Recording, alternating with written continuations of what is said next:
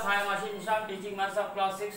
So dear candidates, I am talking about exercise 5b. कल भी मैं आपको 5b के बारे में चर्चा कर रहा था आज भी मैं कर रहा हूँ कल मैंने आपको फाइव क्वेश्चंस के कुछ पार्ट्स बताए थे आज मैं फाइव का फिफ्थ पार्ट आपको बताने जा रहा हूँ जो कि क्वेश्चन दिया है five upon six minus two whole one upon four plus minus का थ्री अपॉन फाइव इसको आपको सॉल्व करना है तो ये हो गया आपका five upon six minus four two सा eight nine upon four plus minus finally minus three upon five ठीक है? तो अब आपको सिक्स फोर और फाइव का एल्सियम लेना है। तो अगर हम सिक्स फोर फाइव का एल्सियम ले बेटा six comma four comma five तो टू से टू थ्री ज़ा टू टू ज़ा फाइव ज़ा। फिर टू थ्री वन फाइव फिर थ्री वन वन फाइव फिर फाइव से वन वन और वन तो टू टू ज़ा फोर थ्री ज़ा ट्वेल्व फाइव ज़ा सिक्सटी आपका यहाँ पर फाइनली एलसीएम आ जाता है।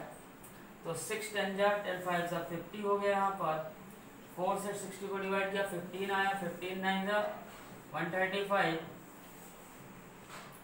माइनस का फाइव ट्वेल्व ट्वेल्व थ्री ज़ा थर्टी सिक्स ठीक है बेटा? ये माइनस का, ये माइनस का तो हम इसको दोनों को ऐड कर लें। माइनस का 135 और माइनस का 36 माइनस का 171 हो गया ये। ठीक है बेटा? 171 अपॉन 60 हो गया। ठीक है?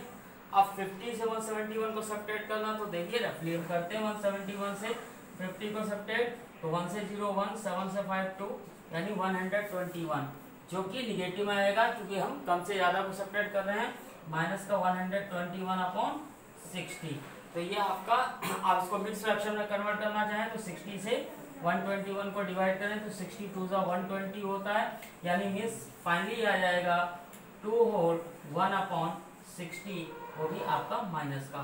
तो इस तरीके से आई होप क्वेश्चन नंबर इसका सिक्स पार्ट सॉल्व होगा।